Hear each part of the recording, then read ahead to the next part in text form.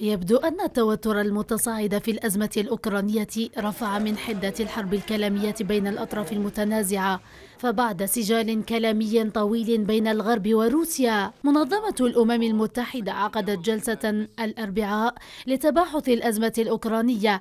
اتهم خلالها غوتيريش موسكو بانتهاك سيادة كييف فمبادئ ميثاق المنظمة ليست قائمة طعام تقتني منها روسيا ما تريد قال غوتيريش. قرار روسيا الاتحادية الاعتراف بما يسمى باستقلال مناطق معينة من منطقتي دونيتسك ولوغانسك يشكل انتهاكا لوحدة أراضي أوكرانيا وسيادتها. الخطوة تعد ضربة قاضية لاتفاق مينسك التي وافق عليها مجلس الأمن الدولي. الأمين العام للأمم المتحدة قال إن روسيا حرفت مفهوم حفظ السلام عندما أمر رئيسها بوتين بإرسال قوات روسية إلى المنطقتين الانفصاليتين في شرق أوكرانيا بهدف حفظ السلام داعيا إلى العودة للمفاوضات تجنبا لأزمة لم يشهدها العالم مؤخرا إذا امتد النزاع. الرد الروسي لم يتأخر كثيرا.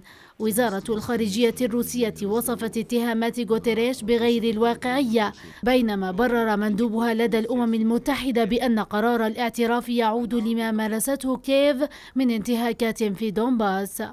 ولم تكتفي موسكو بهذا الرد بل واصل بوتين استعراض القدرات العسكرية المفاجئة التي تحوز عليها موسكو متعهدا بتطويرها.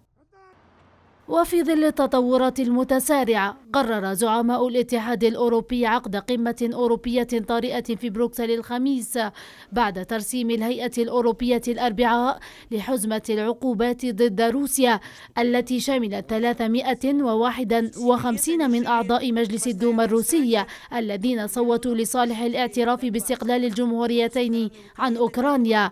وسبعة وعشرين فردا وكيانا يهددون سيادتها كما ستشمل العقوبات أيضا قطاعات سياسية وعسكرية واقتصادية وإعلامية بينما أعطت واشنطن الضوء الأخضر لتعزيز انتشار قواتها في دول البلطيق الثلاث بعد عقوبات فرضتها ضد النخبة الروسية الحاكمة ومصارفها لعزل روسيا عن المنظومة المالية الغربية.